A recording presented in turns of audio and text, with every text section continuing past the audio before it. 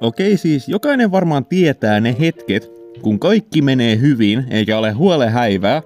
Sä vaan katsot jotain hyvää leffaa ja syöt jotain snäkkiä, ja sit se hittaa. Silloin sä muistat jotain erittäin kringeä, mitä sulle on tapahtunut monta vuotta sitten, ja sit sun päivä on pilalla. Ja niin kävi mulle pari päivää sitten, mutta onneksi se oli niin naurettavaa, että se on myös hauskaa, ainakin mun mielestä.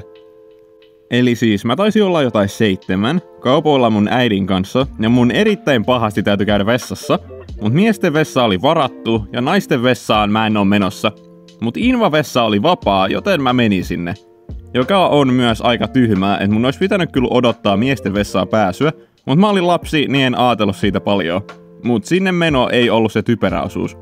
Siis kun mä olin siellä, niin mä näin tän narun, joka roikkuu seinästä, ja mun seitsemänvuotiaan aivot, jotka on ilmeisesti myös yhtä sileät kuin kanarinta, luuli, että se vessa vedetään siitä, koska mä oon nähnyt niitä, niitä vanhoja vessoja se vaikka piirretyissä, jossa on se kahva, mistä vedetään se vessa. Kyllä te varmaan tietää, minkälaisista mä puhun.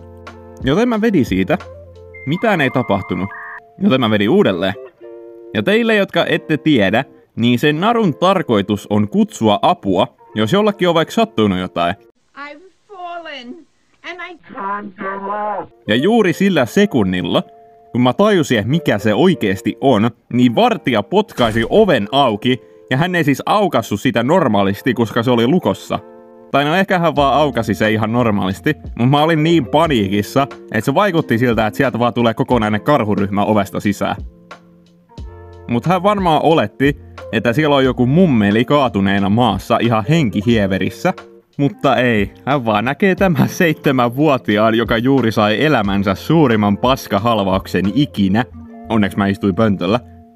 Mutta se mikä mun mielessä liikkui, oli että mä tiesin ettei Inva vessaan saisi mennä, mutta nyt mut pidätetään siitä, ja mä en koskaan enää tule näkemään mun perhettä, kun viedään jonnekin nuorisovankilaan.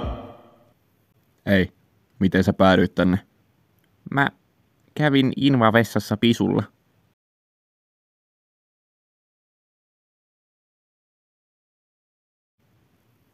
Mutta onneksi se vartija oli ihan fine siitä asiasta. Se vaan kysyi, että mikä hätänä tai tarviinko apua, ja mä siinä itkukurkussa yritin selittää siinä, mitä kävi.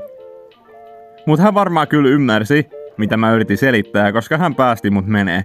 Mutta myös tietenkin sanoi, etten missään nimessä saa vetää tosta vivusta, jos ei ole hätää. Voisin vaikka sanoa, että mulla oli todella kova hätä. Hey, really! Tähän päivään asti mä en oo kertonut tota kenellekään. Ja miksi mä päätin kertoa sen nyt? No, en mä tiedä, tarvii video tehtyä.